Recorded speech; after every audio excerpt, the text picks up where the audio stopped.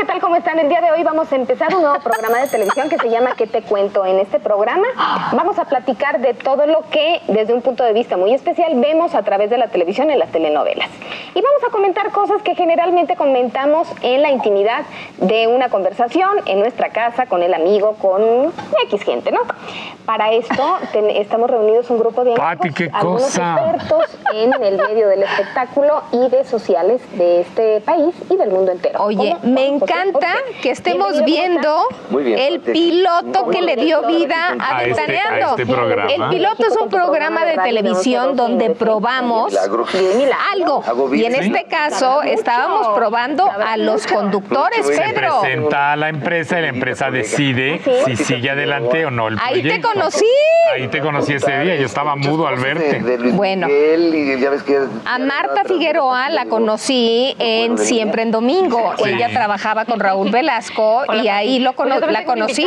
Y él es Daniel García, él es periodista también. Ah. y bueno. ¿Te acuerdas de este muchacho guapo? Perfecto, ¿eh? Ah, sí. Pero pues, si lo vimos nada más un momentito ahí. Sí, sí, sí. Era amigo de Juan José, él Sí. lo trajo. Que es economista y un gran fan de las Y telenovelas. yo, bueno, no, no, no, no, no. Las bolsas de los ojos ya me colgaban. Estoy encantado de estar aquí. ¿Y cómo le haces tú? Son como 20. Es duro, pues no le hace, o las veo, me las cuentan o las leo en las ¿Te revistas. pones al tanto? Yo me pongo al tanto todos los días. La Y tele. eso era cierto, Pati, yo veía las novelas siempre. Pero ¿cómo llegaste tú ahí? ¿Quién te llevó? Carmen Armendáriz, que en esa época era la productora de, de Ventaneando, es, es mi amiga y fue mi amiga de mucho tiempo a través de su mamá, la viuda de don Pedro el Viejo. Sí. Y entonces ella me invitó a hacer este piloto y yo le dije, pues Daniela Pero ¿por qué te invitó? porque le gustaba cómo comentaba yo los programas de televisión en su casa o en la mía O en la de amigos. te sentabas tú con la mamá de Carmen En la a, comida. a ver una telenovela. No, no, no, nos sentábamos a comer y Carmela que trabajaba en Televisa y ella sabía de, de- de la televisión, yo opinaba lo que veía en la televisión. Ah, ok. Entonces, eso realmente a ella le gustaba y me decía, algún día vamos a hacer un programa de crítica de la televisión. Y entonces, pues como si te dicen, un día vamos a ir a la luna. Sí. O sea, realmente, ok, me habló y me dijo, vamos a hacer un piloto en, TV, en televisión azteca y quiero que vayas. Y era un sábado 22 de diciembre de 1995. Fíjate. Ese día tú llegaste con, con Juan José, Marta ya trabajaba contigo así, Ajá. y yo llevaba, vine nada más, pues yo ese día te conocí, Carmela y, estaba, y yo estábamos separados afuera del, escen- del, del estudio. Ajá. Cuando tú llegaste me quedé mudo porque yo te había visto en la televisión por años, impactas mucho, por eso yo ahora, en- yo siempre he entendido cuando la gente llega y te ve, y se pone como toda nerviosa. Es que es lógico, así me puse yo, pero muy bien plantado. Haz de cuenta como que yo tenía Pues tú, todo. el rey de la pista. El rey de la pista. ¿Sabes qué es lo que, lo que pasa? Que yo nunca había estado haciendo eso. Ajá, Yo nunca había estado. profesionalmente. Profesionalmente, o sea, para ahí enfrente de, un- de una cámara y conversar. Nunca había estado. Entonces, de repente, a mí me dijo Carmela, tú conversa como lo haces cuando digo en la casa. Y entonces eso salió. Fíjate que yo conocí a Juan José gracias a los Saba, que en una noche nos invitaron a cenar a mi marido y a mí, invitaron también a Juan José. Por eso llamamos a Juan José. En el caso de Marta, Marta ya estaba trabajando con nosotros aquí en Azteca Sí. en el medio de- en el mundo, en el medio, del, espectáculo. sí. Y cuando hicimos ese piloto, tú te recordarás que primero lo hicieron solos. Lo que pasa es que tú no ibas a estar en el programa, tú ibas nada más a conducirnos, a dirigirnos eh, la escena, pues. Sí. Pero de repente te diste cuenta que ninguno de los que estábamos ahí sentados teníamos la experiencia para hacerlo y decidiste tú sentarte y llevar la voz cantante. Claro, sobre todo para que eh, comentaran al ritmo de la que televisión. tú ya lo conocías Sí, perfectamente sí. bien y nosotros no. Y entonces yo mucho menos que nadie. Y el amigo de Juan José, que no me acuerdo ni cómo se llamaba, eh, pues tampoco, ¿verdad? Ajá. Juan José y Marta, creo que Juan José ya había estado alguna vez en ECO dando noticias en la madrugada. Él me contó. Y Martita, bueno, pues ya tenía tiempo de trabajar en la tele, por lo menos sabía cómo era el, ¿Cómo el asunto de la claro, televisión. claro. Pero lo que sí me, me llama la atención es que ese día, 22 de diciembre del 95, me fui, vino Navidad, Año Nuevo, me fui de vacaciones, regresé y el 8 de enero del 96 me habla Carmen Armindares y me dice, se va a hacer el programa y quieren que estés en él. Dije, "Car- pero ¿cómo? Y mi trabajo, vamos a ver cómo le hacemos. Y le hicimos, Pati. Y le hicimos. Y 27 años después aquí seguimos, tú y yo, al pie del cañón. Fíjate, esa es una escena sensacional de una de las telenovelas de televisión Sí, la azteca. primera que hicimos. Donde Sonia Infante se baja el, ¿El calzón? Los calzo- el calzón y se sienta en el excusado. Sí, sí, sí. Y agarra el papel y lo sí, utiliza. sí. Mira nomás, es que fue una escena verdaderamente notable del- de, de- de la realidad. Tan fue eh, eh, fuera de serie esa novela que seguimos haciendo novelas muy Muy importantes. importantes. Yo espero que pronto sigamos haciendo Ojalá. más aquí. Ojalá. Yo te, yo te voy a contar una cosa. Eh, Uno nunca sabe, como lo comentábamos hace un rato, cuánto va a durar un programa de televisión. El día que presentamos nuestro programa, nuestro proyecto a la prensa, eh, a mí me llevaron aparte el socio de Carmen Y me dijo lo que iba yo a ganar por programa. Yo era un burócrata que tenía un sueldo bajito en ese momento. Y yo hice cuenta mental y pensé, ojalá que dure unos tres meses por lo menos o cuatro para yo poder cambiar el coche. Fíjate, ese fue mi pensamiento in- inicial. Y mira lo que pasó. Mira lo que pasó, Pedro. Cuando hicimos el programa y salimos al aire el 22 de enero del, Del 96. Jamás pensé ni por un instante que íbamos a durar un día, cinco meses, cuatro años, mucho menos, pues es que nunca- 27 es que- años. Es que eso no se sabe cuando va a empezar un programa de televisión, porque así como el de nosotros, afortunadamente, tuvo éxito y nuestra empresa Televisión Azteca, bueno, también tuvo éxito porque tú estás al frente del programa y porque tú le has dado la calidad del periodismo de espectáculo El día de que hoy- existe en este país. Pues sí, pero el día de hoy, afortunadamente, con un equipo de producción sólido, importante. que tú has formado. que está al frente, obviamente, Rosario Murrieta, con esa ah, ética profesional para saber exactamente qué nota perseguir y qué no. Y que no. Y también, obviamente, todo lo que tiene que ver con Fierros, pues y Yari González. No, y todo el equipo ha sido muy importante No, y los para editores, mantenerlo. los Claro. reporteros, eh, camarógrafos. camarógrafos, todo mundo. Es muy interesante hacer la televisión. Fíjate que a partir de este programa se crea una escuela fuera de serie en los medios de comunicación para hacer periodismo de espectáculo en este país. Es que en este, en esta época, en ese momento, el periodismo de espectáculos era muy, muy reducido. Tú No tenías un existía. programa allá en Televisa y luego lo trajiste y lo hiciste aquí, que era el medio del espectáculo. Pero realmente había pues, una revista ahí, la, la- la- la de la televisión, donde había los, los programas Sí, de televisión. sí. Y venían algunas notas de los artistas y Sobre demás. todo de cantantes. De cantantes. No de los artistas. Las notitas musicales. Exacto. Y de pronto en el periódico también había una página en donde había la cartelera cinematográfica. Y ya. Y ya, y Y venían teatral. algún comentario. sí. Y de repente, a partir de que sale ventaneando al aire, es que se da, se percata el mundo que el periodismo de espectáculos es tan importante como el periodismo político y el periodismo de nota roja y cultural, porque al final de cuentas es lo que más tenemos a manos los seres humanos Sí. sobre todo a través de la televisión, ahora a través de estos medios digitales, pero muchos años a través de la televisión. Y por cierto, por si no se han dado cuenta, el que más habló en el piloto fue el señor Pedro Sola. Ah, por eso estoy aquí, porque soy un parlanchín. Sabes que luego me tiene que, y Yari luego me tiene que callar, Pati, ¿O yo? productora.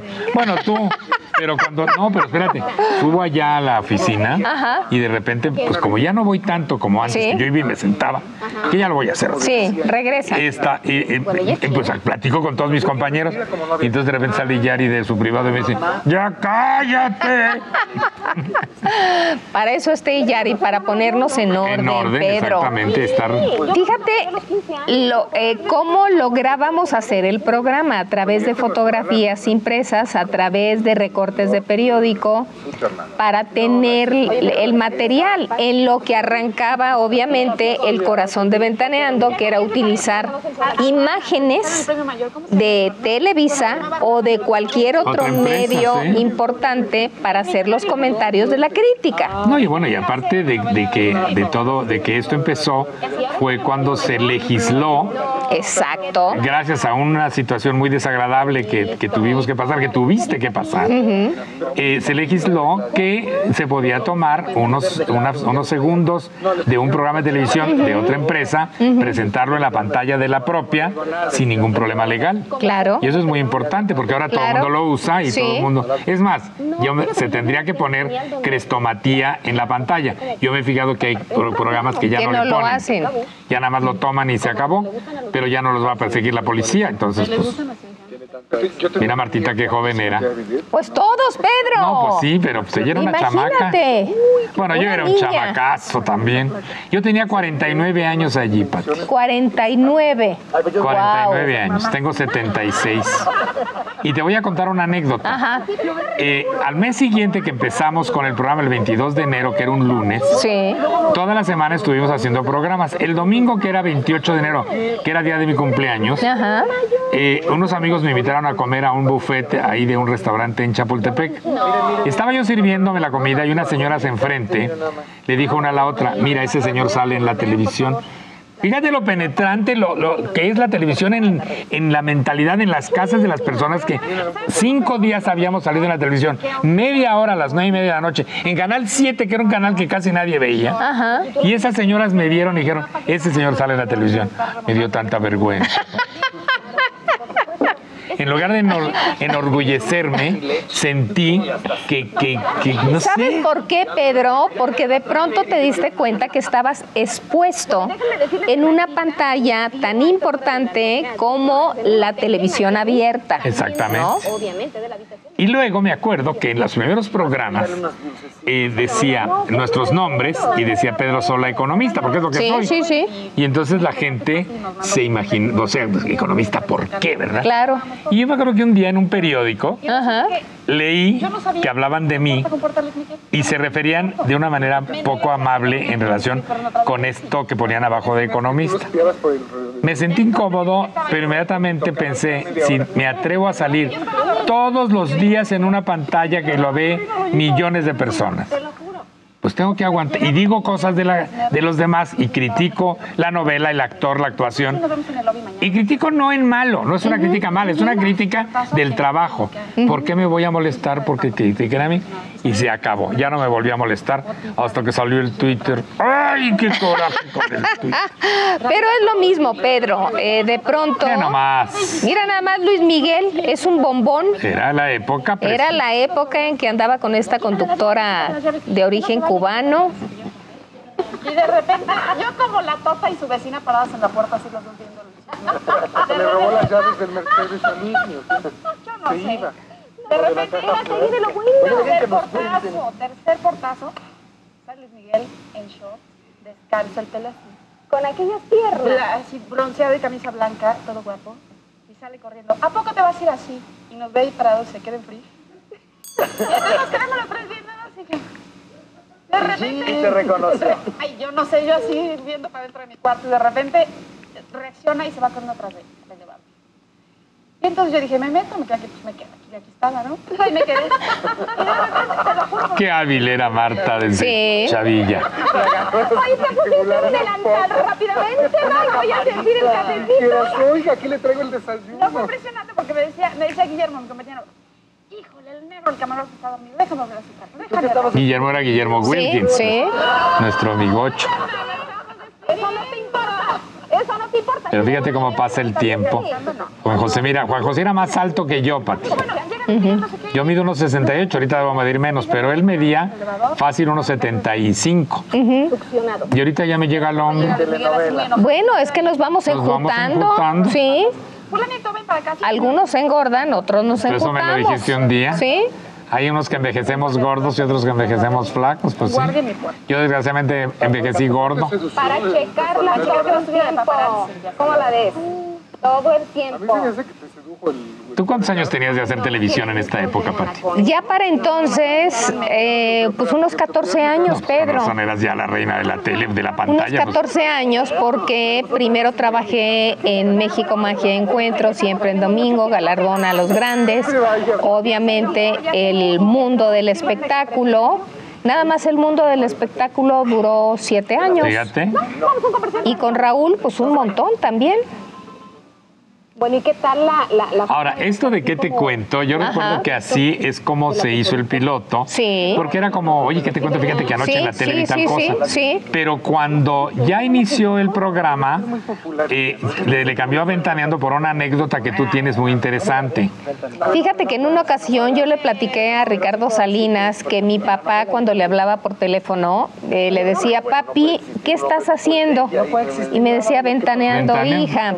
Y entonces eh, en su casa de la colonia Juárez, pues era el, el pasatiempo que tenía mi, mi papá, asomarse a la ventana, pues ventana. para ver qué era lo que sucedía. Ventaneando. Y entonces de ahí nace el, el El nombre del programa. Que el señor Salinas Pliego Sí, fue el que se decidió. lo puso, sí, exactamente. No, y con un tino importante de la visión que tiene empresarial, él decidió que tú que nada más habías hecho el piloto para apoyarnos a los que Sí. originalmente íbamos a conducir, tú te ibas a quedar al frente Sí, del programa sí. y 27 años y Porque pico la idea después, que tenía Carmen Armendáriz cuando tuvo la idea del programa era que yo fuera una productora asociada. asociada, exactamente. Y bueno, terminé siendo productora asociada más la conductora, del programa. Exactamente.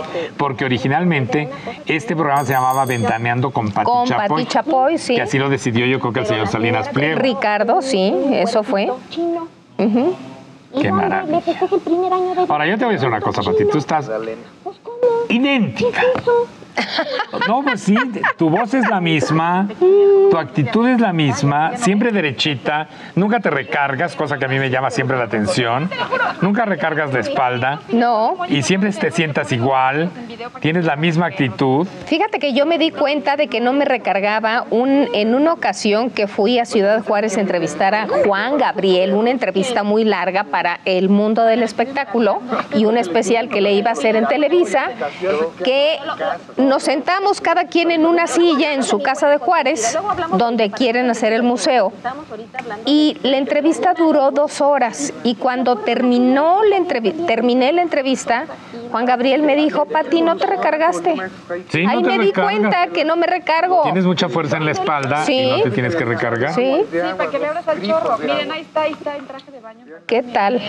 El gordo de Molina, que en esa época salía también con su programa El Gordo y la Flaca. El Gordo y la Flaca. Que es el mejor título que he visto yo en la televisión, Y ¿eh? además él reporteaba, así Sí, como estaba sí. de gordo, Sí. reporteaba, porque yo me acuerdo una vez Y además en patines. En patines. No, no, no, genial el con un, tipo. con un eh, dominicano que era creo que imitador, Sí. estaba en una lancha allá a lo lejos en, en- a medio mar en, en Florida, encuerado. Y entonces el gordo de Molina se fue hasta allá con su cámara y ahí lo sacó encuerado. Luego le blurearon la parte. Claro. Pero yo lo vi en la Claro, televisión. claro. Hasta lo debemos haber sacado nosotros. Lo más seguro, ¿eh? Fíjate que al, al nacimiento de, de Ventaneando eh, sucedió una cosa muy interesante, porque hablábamos y comentábamos cuando había errores de escenografía en alguna telenovela o de iluminación o de vestuario De continuidad. o de continuidad o de eh, equivocaciones que de pronto tenían los actores, que Televisa empezó a cambiar mucho. Claro, empezó a fijarse. corregir los errores. Que no se vieran los cables. Exacto. Que no se vieran las tripas de la escenografía. Ajá. Que eh, la que estaba sucia la, Sí, la algo. escenografía. Yo, yo recuerdo haber visto telenovelas en donde una actriz sale de su casa de chongo, se sube al coche y está de cabello suelto y se baja del coche y ya trae chongo otra vez. O que salía alguien con un vestido como este, de, de una puerta se iba a la recámara. Y entraba re- con otro. Con otro, Sí, sí, por sí. ejemplo. Por eso hay, alguien que muy está interesante. siempre checando la continuidad de la ropa y de todo. Yo creo que todo el mundo. Ahora, Juan José, yo me acuerdo que él no estaba muy enterado de los asuntos de la, de la farándula. No, porque se enteraba más de, la, De la lo sociedad. social, sí. Él siempre estuvo acompañando a las Misses México para lo del Miss Universo y él le gustaba mucho el mundo de los sociales. Su página era de sociales, de fulanita se casó con Perengano y la fiesta y, y los invitados y demás. Pero a partir de aquí empezó a tener que estar al tanto de la televisión y estar al tanto del teatro y demás para poder que ahora es a lo Sí, que se ha dedicado sí. hasta la fecha. Sí. Qué simpáticos y qué guapos. Ahora, en esa época Juan José era muy audaz para sus comentarios, pero ahora se ha vuelto como señora de sociedad, así, muerde el rebozo cada que habla Ya, de ya, alguien. ya. Oh, pues, pues así fue, Pati. Así fue. Fue el inicio de Ventaneando hace 27 años. Y medio. ¡Wow! Y, Y medio. medio.